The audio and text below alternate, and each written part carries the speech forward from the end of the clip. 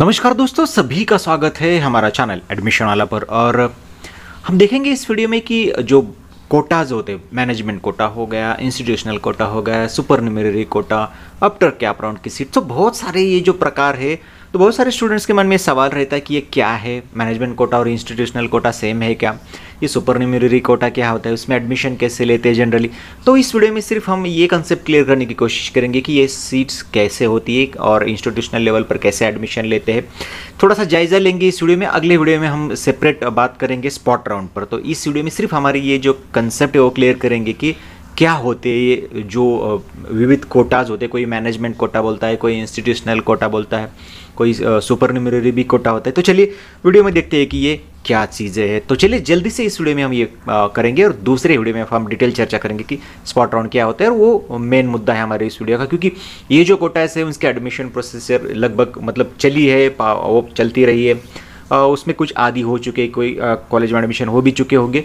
तो फिर ये थोड़ा सा लेट वीडियो आ रहा है, ऐसा समझेंगे हम। सिर्फ़ हम कंसेप्ट क्लियर कर लेंगे, ताकि आपके मन में अगर कोई सवाल है तो फिर वो क्लियर हो। तो दोस्तों, मैं आपको बताना चाहता हूँ कि यहाँ सबसे जो एक बात मैं आपसे बताना चाहता हूँ कि जो हम इंस्टीट्यूशनल कोटा कहते हैं तो उस इंस्टीट्यूशनल कोटा के अंदर जो भी हम बोलते हैं management quota supernumerary quota उसके बाद जो भी सीट्स होती है, आपकी vacant seats after CAP round कोई ए जी वी कैप अगेंस्ट कैप राउंड बोलता है, कोई वैकेंट आफ्टर कैप राउंड बोलता है। यानी जो भी कुछ, जो भी एडमिशन्स आपके इंस्टीट्यूट लेवल पर होते हैं, जो भी कॉलेज करता है, जो कैप के थ्रू नहीं होते सेंट्रल एडमिशन सिस्टम के द्वारा नहीं होते, उनको इंस्टीट्यूशनल कोटा कहते हैं। हालाँकि इसको सेपरेट देने की ज़रूरत नहीं, लेकिन आपको समझने के लिए मैं उसको सेपरेट दे दिया।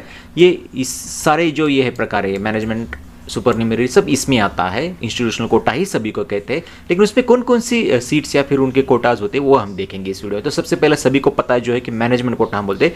लेकिन आपने अगर इन्फॉर्मेशन ब्रोशर देखा तो उसमें कहीं पर भी मैनेजमेंट कोटा ऐसा शब्द आपको नहीं मिलेगा।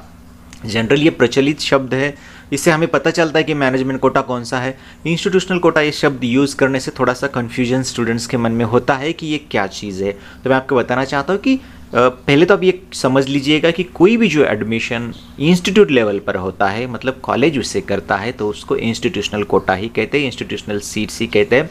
अब उसमें जो हम मैनेजमेंट कोटा जो बोलते हैं, उसको भी इंस्टीट्यूशनल कोटा ही बोलते हैं। और अगर आप ब्रोशर में देखेंगे इन्फॉर्मेशन ब्रोशर में जो रूल की बुक्स है आपके एडमिशन की तो उसमें भी उन्होंने कहा होगा कि इंस्टीट्यूशनल कोटा ऐसा ही शब्द होगा, ना कि मैनेजमेंट कोटा ऐसा होगा। इंस्टीट्यूशनल लेवल की जो सीट्स है, उनको ही हम मैनेजमेंट सीट्स बोलते हैं तो जो मैनेजमेंट सीट्स है जनरली वो हम महाराष्ट्र की अगर बात करें तो जिन, जिस कॉलेज को एड नहीं अनएडेड जिसको हम बोलते हैं अनएडेड जो प्राइवेट कॉलेजेस है, वहाँ पर 20 प्रतिशत जो सीट्स है, वो होती है, आपके मैनेजमेंट कोटे में होती है, और वो सीट्स जो कॉलेज भरता है, उसे हम मैनेजमेंट कोटा बोलते हैं, उसके लिए अलग से एडमिशन प्रोसीजर होता है।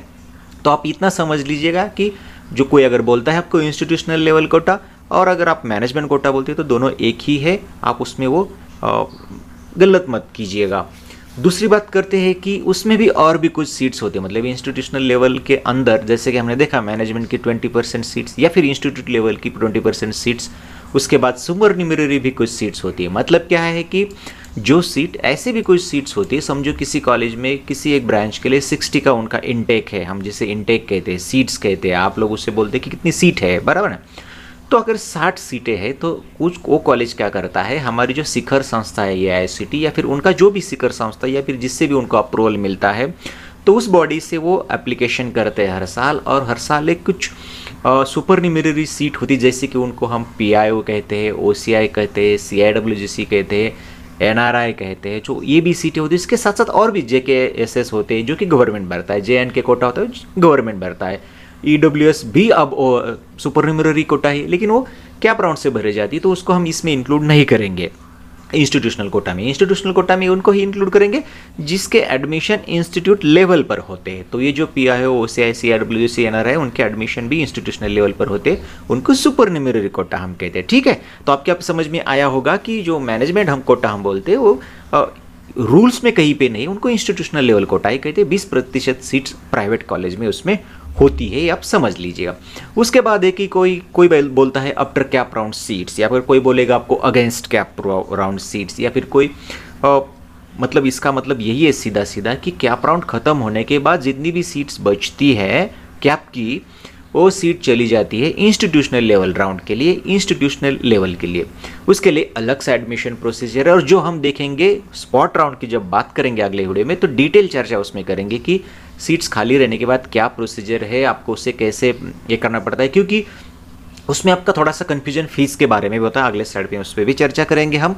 तो जनरली आपको सिर्फ़ यही मैं क्लियर करना चाहता हूँ कि ये सीटें अलग अलग होती है इंस्टीट्यूशनल लेवल पर ही भरी जाती है, लेकिन उनका कोटा अलग अलग होता है। आपको सिर्फ़ समझना एक उद्देश्य है इस वीडियो का। तो एडमिशन कैसे होते हैं इनके? थोड़ा सा उसके बारे में भी पता करने की हम कोशिश करेंगे दोस्तों। तो यहाँ पर मैं इंस्टीट्यूशनल कोटा आप सेपरेट नहीं दूँगा क्योंकि वही उसमें ही आता है वो। तो मैनेजमेंट कोटा जिसे हम बोलते हैं, कोई लोग उसे इंस्टीट्यूशनल कोटा बोलेंगे। इसमें आप गलत ना कीजिएगा तो मैनेजमेंट कोटा की बात करें हम तो मैनेजमेंट कोटा कॉलेज भरता है। आपको जिस कॉलेज में आपको इंटरेस्टेड हो, आप उस कॉलेज को आपको संपर्क करना पड़ता है, उनको एप्लीकेशन करना पड़ता है।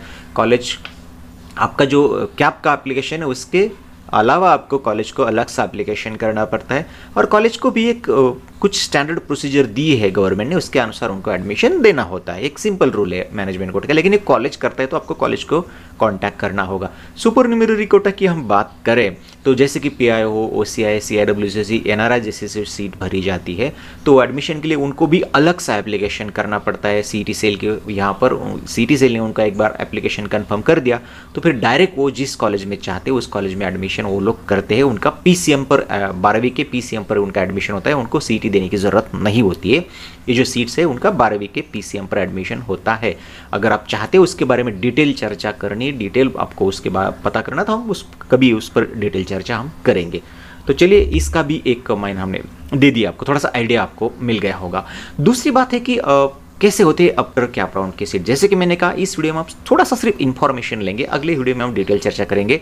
तो यहाँ पे मैं बताना चाहता हूँ कि कैप राउंड के बाद जो भी वैकेंसी रहेगी कॉलेज को आपको एप्लीकेशन करना होगा, उसके बाद मेरिट लिस्ट आएगी कॉलेज एडमिशन मेरिट से दिया जाएगा और कोई कोई कॉलेज ऐसे होता है कि स्पॉट राउंड भी आयोजित करेंगे, वो आपको बुलाएँगे और आपको जो भी अवेलेबल है वहाँ पे स्टूडेंट्स उनको एडमिशन वो दे देंगे। तो इस प्रकार से भी वो कैप राउंड के बाद की जो सीटें वो भरी जाएगी।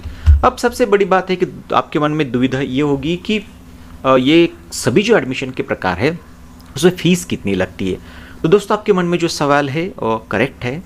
तो जो आप बोलते हो मैनेजमेंट कोटा वहाँ पर आपको पता है कि फ़ीस कितनी होती है, कैसी होती है, उसके बारे में आपको कॉलेज को कॉन्टैक्ट करो। आप कॉलेज वाले आपको बताएँगे कि फ़ीस कितनी है। उसे हम मैनेजमेंट कोटा या फिर इंस्टीट्यूशनल कोटा आप कहते हो। दूसरी बात है सुपर न्यूमरी कोटा में भी फ़ीस का ये होता है कि नॉर्मल स्टूडेंट से फ़ीस उनकी ज़्यादा होती है। यहाँ पे हम सिर्फ़ थोड़ी मोटे तौर पर बात करेंगे, क्योंकि वहाँ पर एनआरआई की फ़ीस अलग होती है पीआई की फ़ीस अलग होती है।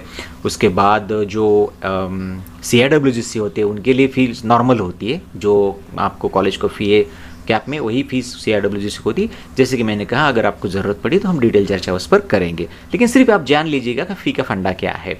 और जो कैपिटेशन फ़ी या फिर बाकी की फ़ी हो सकती है मैनेजमेंट कोटा में आप कॉलेज से उसके लिए संपर्क कर सकते हैं। अब आते हैं आपकी जो अपटर कैप राउंड की सीट से तो वहाँ पर जितनी fees regulator fees regulating authority जो होगी, उस उस कॉलेज के लिए तो वो उसने जो मंजूर किए वही फ़ीस आपको भरनी पड़ती है। मतलब जो कैप राउंड में ओपन के लिए जो फ़ीस है वो आपको फ़ीस भरनी पड़ेगी आफ्टर कैप राउंड अगर आप प्राइवेट कॉलेज में ट्राई कर रहे हैं तो कैटेगरी का फ़ायदा वहाँ पर नहीं मिलेगा आपको पूरी फ़ीस भरनी पड़ेगी। लेकिन अगर आप, आप, आप अगर आप गवर्नमेंट कॉलेज में ट्राई करोगे इस सीट के लिए तो हो सकता है कि आपको वहाँ पर ये सुविधा मिले मतलब फ़ी की सुविधा मिले फ्रीशिप स्कॉलरशिप आप वहाँ पर ले पाओगे। लेकिन अगर आप इस राउंड में कॉलेज प्राइवेट कॉलेज में एडमिशन लेते हो तो याद रखिए, आपको फ्रीशिप स्कॉलरशिप नहीं मिलेगी और फ़ीस भी आपको पूरी भरनी पड़ेगी। ओपन की जितनी। तो थोड़ा सा आइडिया आपको आ जाए इस वीडियो को, अंदर कि बहुत प्रकार के क्या। दोनों को हालाँकि मैं मिक्स करने वाला था, लेकिन थोड़ा सा कन्फ्यूज़न बढ़ेगा वीडियो भी लंबा होगा, इसलिए मैंने थोड़ा सा दो पार्ट में करने का सोचा। अगले वीडियो में हम देखेंगे कि स्पॉट राउंड क्या होता है और उसके बारे में डिटेल चर्चा उसमें करेंगे। तो रुकते यहाँ पे, फिर मिलेंगे किसी नए वीडियो में, तब तक के लिए नमस्कार थैंक यू